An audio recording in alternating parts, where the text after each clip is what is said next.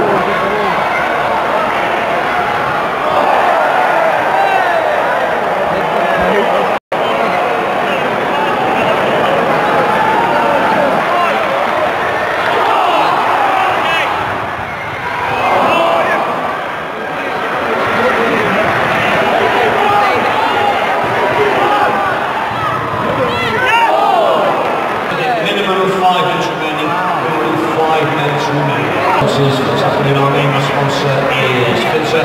Our man of the match, Jay Harris.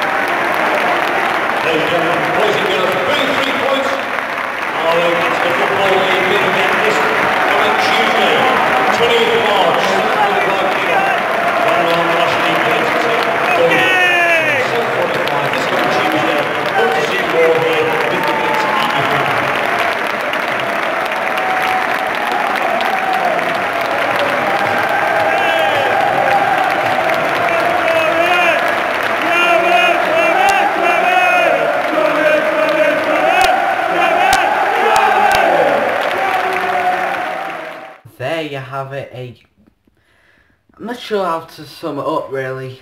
We played well, but we should have scored a lot more goals than it that we than we did. Um, to say a well and victory, we should have beat them about five 0 uh, The penalty, it was a good penalty, good triple save by the goalkeeper, but I think we need a new penalty taker because it's starting to get a bit boring now. But and I don't think he can't really, you know, put, take penalties very well. Sorry, no offense. Anyway, guys, that was a good 1-0 victory. Next match is on Tuesday against Forest Green in the Vanarama National League. Hopefully we can get a win because that will, if we basically need to win this match, that will be a brilliant match um, and a very must-win match for both teams. Because we are second, third and they are Forest Green are second. So hopefully we can get the win. Anyway, that's all I need to say. Typical classical Vanarama National League ref we had today. It's just bad if you didn't click on. So anyway guys, we'll see you on Tuesday for my next video. Peace out.